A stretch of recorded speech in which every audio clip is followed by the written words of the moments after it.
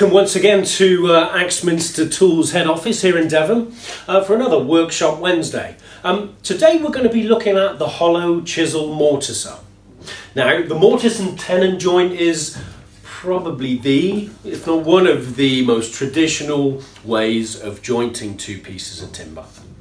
The tenon, the male part, the mortise, the female part. Today we're going to focus on the mortise. Now there's many ways to cut a mortise. You can mark cut by hand, uh, mortise chisel, a hand mortise chisel. You can drill out and still use a mortise chisel or traditional chisel to, to chip away and get the edges clean and square. You can use a machine that we're going to look at today, the hollow chisel mortiser. Now these machines have been around for decades, long time. On a traditional style machine, um, maybe not quite as popular as they used to be. You know, the introduction of the Festool Domino has kind of taken some of this uh, this machine's glory, if you like, um, but it still has a place in a joinery shop. Festool Domino is great, it's quick, it, it's strong, but if you want long, deep tenons, there's only so much strength that you can get from that, that domino. Uh, and you just might need that traditional style, that traditional look. Uh, a through pegged tenon or, or something like that. Um, as said, the traditional style um, hollow chisel uh, mortise machine. Now, what we've got, this is the key to that machine. It's the chisel and bit. This is the chisel, the hollow chisel, as you can see, and this is the bit, like a regular auger bit.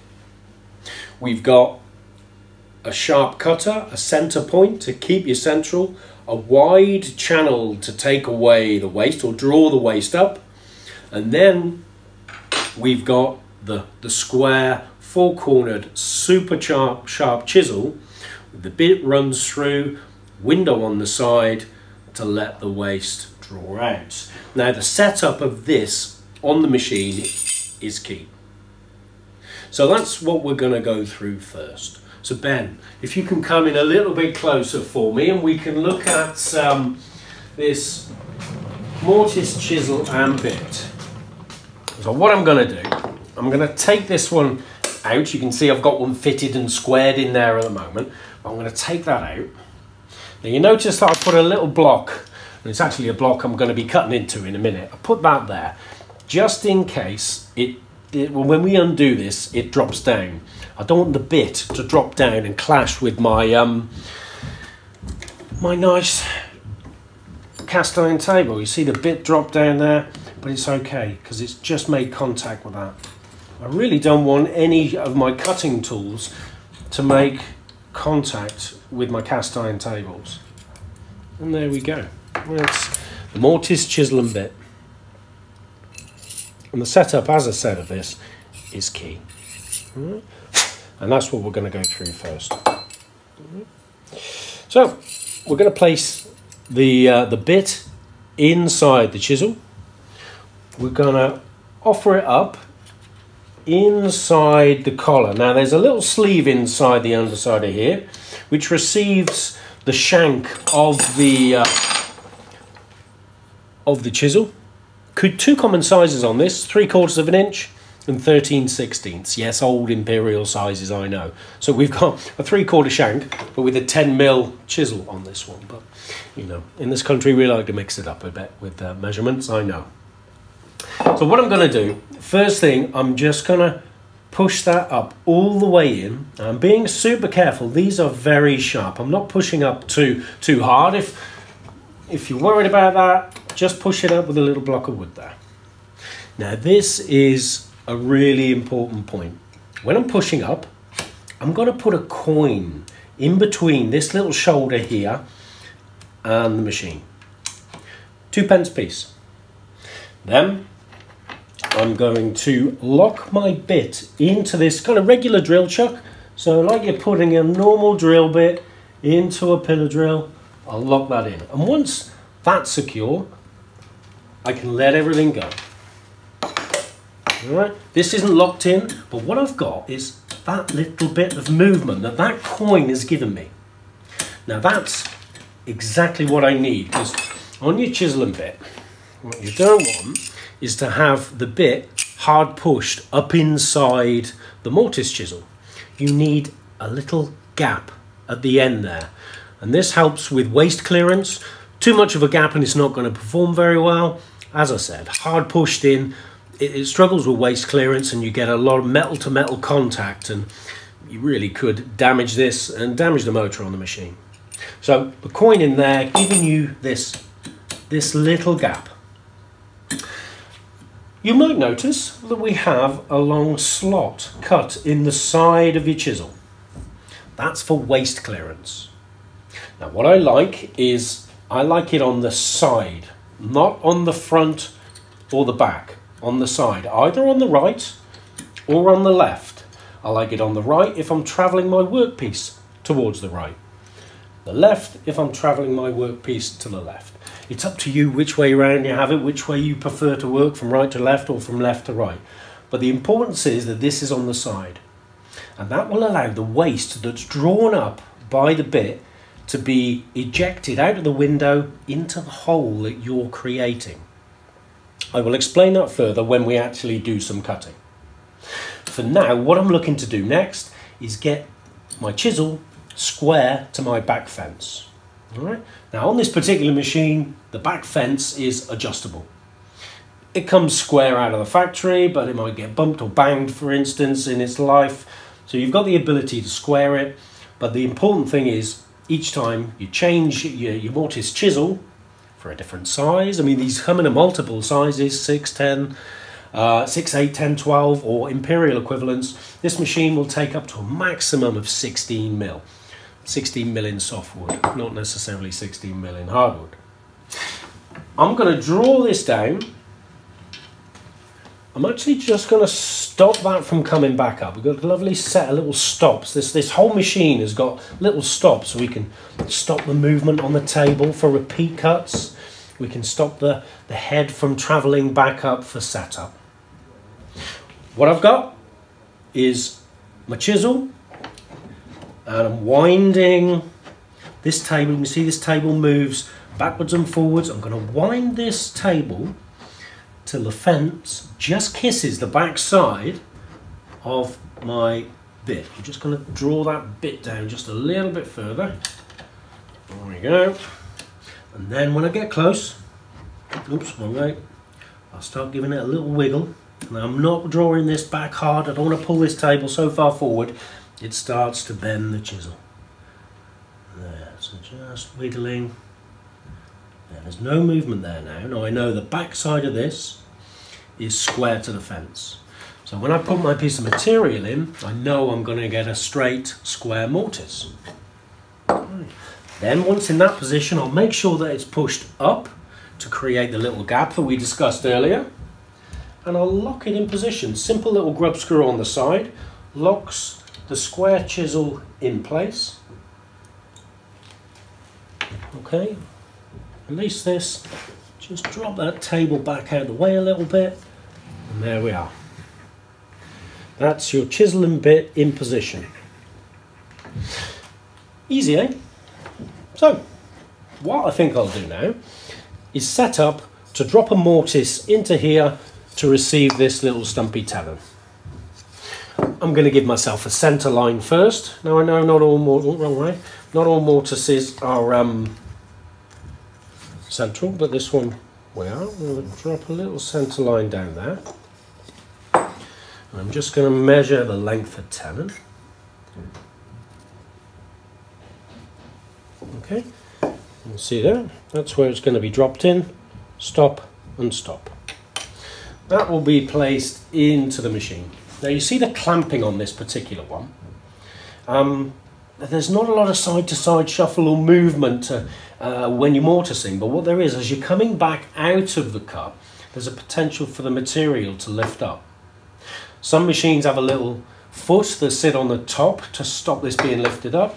A lot of them, I quite like this, they have a diagonal clamp that holds your material down towards into this corner in towards the fence and down towards the table, just to prevent lift when you're coming back out of the cup. I'm going to centralise first. Now, as I said, on these chisels and bits, you've got a centre point, and that's dead centre to everything here, central all round. So that's easy to line up with my, with my centre line. I can move this table, I can draw this down and just eyeball it until I can plunge in and make tiny little points. There we go, that's just kissing that centre point nicely now. There we go. You can see I've made little dots all the way along just without that auger point knowing that I'm dead centre to my line. I want to control how uh, the width of my tenon here and I've got these side stops so I'll do this one first I'll offer up my square chisel to my side stop and lock this collar in place lift it up travel the other way and do exactly the same thing offering the chisel up to my stop mark. Lock that off. At this point what I've got is repeat repeat repeat. Because often you're not just doing one mortise. You're doing I know, making a table and you've got eight to do see two on each leg. So we've got the repeat repeat repeat so what I think I'll do now is just do a do a quick cut for you spectacles on door is shut now let's just get a noise level on this machine that little metal to metal rub is perfectly normal. Any noisier than that, and I might reassess what I've done. Have a look at my setup. But that's perfectly normal.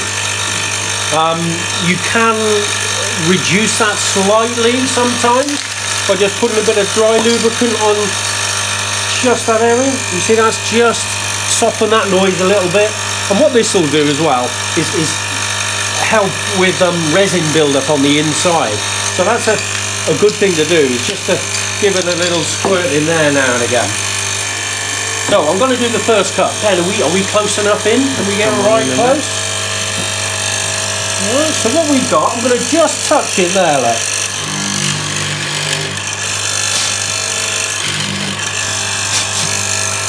So hopefully you can see that.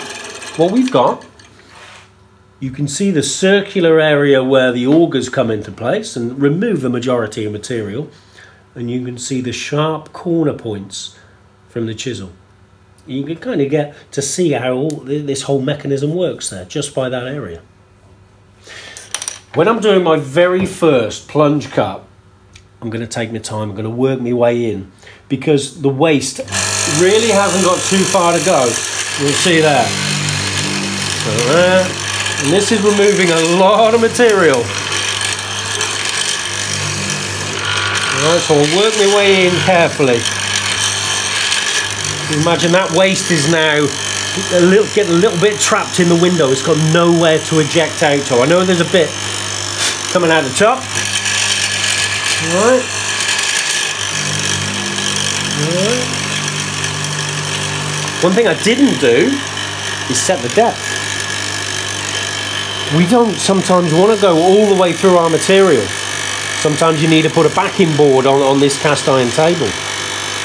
Right. so just for this instance, I'm going to just reset the, the little depth stop. Just lift that up. Right.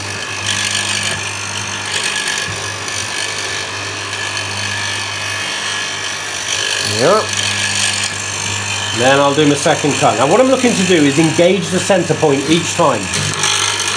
If we just to try and take off a little skin, there's a, there's a chance everything can flex, particularly on the little thin uh, chisels and bits. I'm looking to engage that centre point. Now you can see that the waste has got somewhere to go. So I'm a little bit more confident to work my way into the material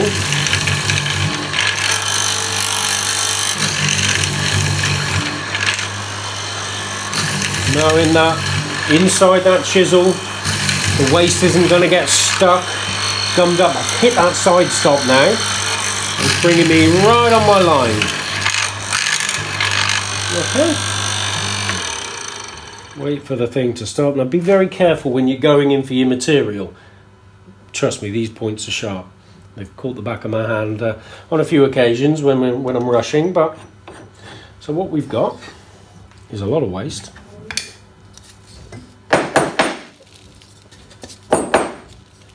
We go. A hollow mortise.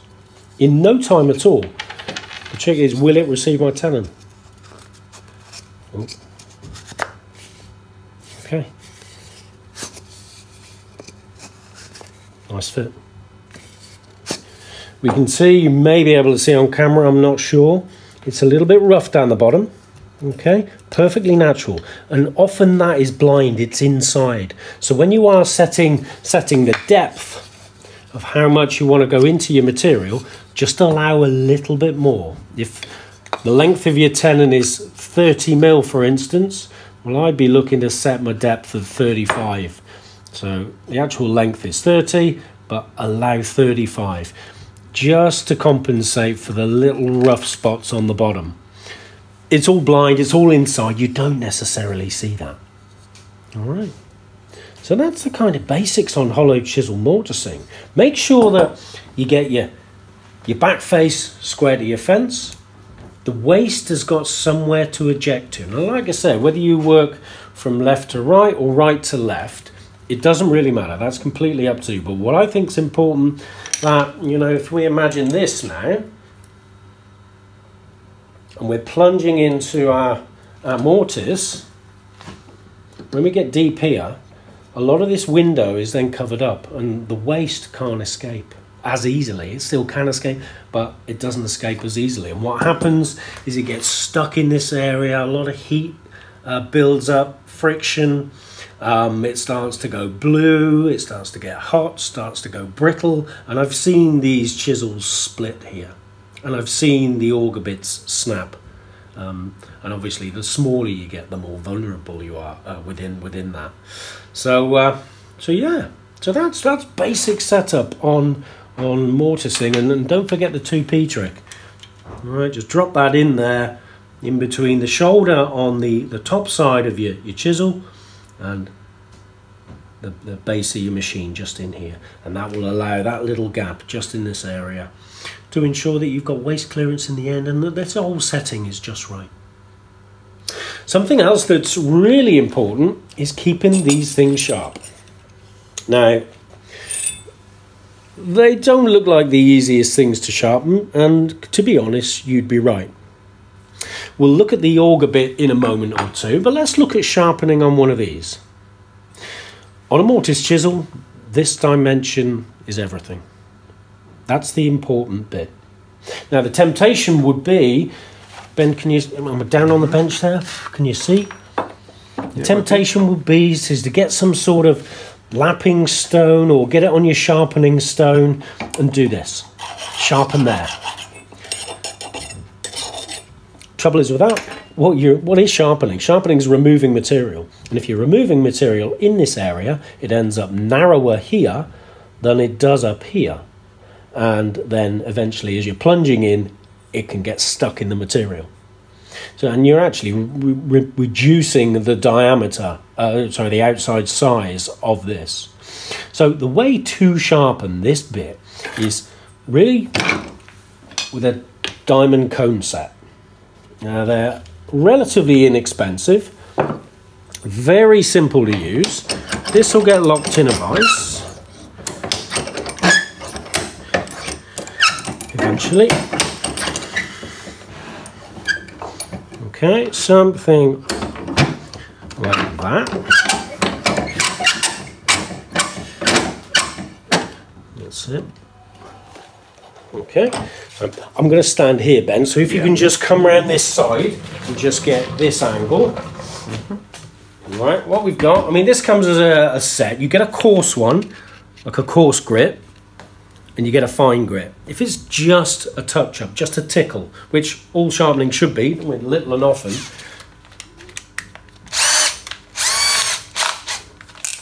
drop it in your cordless drill. Make sure you keep your drill slow. You might want to put it on the slow setting or what I do is just use the control on the variable. Because it's conical, it's cone shaped, it follows the conical shape inside the mortise chisel. It has this shape in here. There you can see that fits that beautifully. And what we're looking to do is retain that. We're look, not looking to twist, just feel and follow the shape that's in there. Keep it equal, and it won't take much. Oh, that's done, and just brings back these corners. Now, you will end up with a very light burr here. And what I tend to do with that is exceptionally lightly with a fine grade. I know I said don't touch there, but all I'm doing is taking a burr off. I'm not actually removing material, it's very light and you'll bring these points back and this sharp edge, this cutting blade here, back straight away. So it's a really simple way of sharpening what is a very difficult thing to sharpen otherwise. So that's the chisel, that's the, the, the difficult bit. The sh sharpening of the bit, well, it's really quite simple. I mean, sharpening drill bits can be tricky, we all know that. Um, this one I think is a little bit simpler because it's only got one cutter, so you haven't got two cutters to balance out and match. And what I tend to do, I'll, I'll stay away from the center point. For the best part, I'll even stay away with it from this this center, uh, this outside spur here. All I'm looking to do is just touch up the cutter. And again, you can you can lock this in a vise to give you a bit more control. All right. And what I'm looking to do is follow the angle that's on the inside, the underside. I'm only going to go fine grade. I'm looking to follow that angle. What you can do if it's if you're unsure where that angle is at, good old trick with a lot of sharpening. I know it's a pencil, but you can black that out. Alright? And that'll give you a guide to where you're actually what angle you're at. Because you can see what material is being removed. You kind of get used to it and you get a feel for it, but just that little tickle there. And what I tend to do sometimes, depending on how blunt it is, is just tickle that top surface as well. And that brought back that edge. Like I say, I tend not to touch these two, just give that a light touch. That drops in there and we're ready to go again. Super sharp. Remember your settings as we've done before and that's it. So we are just about done actually hopefully you found that um, found that useful informative uh, as usual if you've got any questions please drop them uh, drop us a line let us know um, once again, thanks for watching, and um, I look to see you. Uh, look to see you next Wednesday. Um, so, take care. Stay safe.